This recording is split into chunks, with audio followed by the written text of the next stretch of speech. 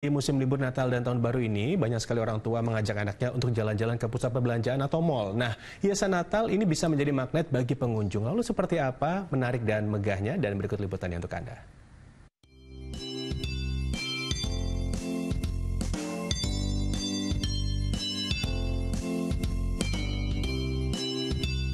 Sejumlah pengunjung sebuah pusat perbelanjaan di kawasan Jakarta Pusat ini sibuk bersuah foto. Mereka mengabadikan keindahan prototipe kastil kuno dengan berbagai ornamen khas hari Natal.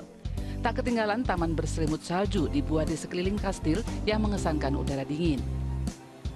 Nah, jadi di bagian tengah kastil ini ada sebuah ruangan dengan dekorasi serba berwarna emas dan juga abu. Jadi memang kelihatan lebih mewah dan di dalamnya juga ada pohon Natal, lalu ada kado-kado yang bisa dijadikan properti saat berfoto. Dan ini menjadi spot favorit juga nih bagi para pengunjung. Bahkan kalau saya lihat nih sampai ada yang antri juga buat bisa berfoto di dalam sini.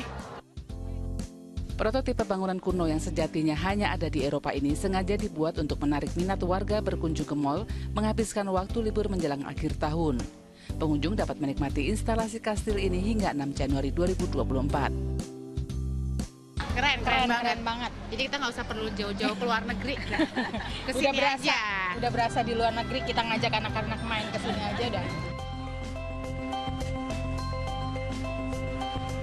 Kreativitas dalam menciptakan ornamen Natal tak hanya dilakukan pengelola pusat perbelanjaan.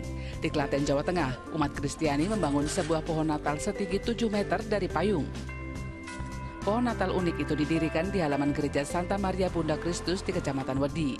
Tak kurang dari 100 buah payung aneka warna digunakan untuk menciptakan pohon Natal ini. Warna-warni payung menggambarkan keberagaman yang tetap harus mengerucut menjadi satu tujuan yakni kepada Tuhan hingga memberikan kedamaian untuk seluruh umat manusia. Tim Liputan melaporkan.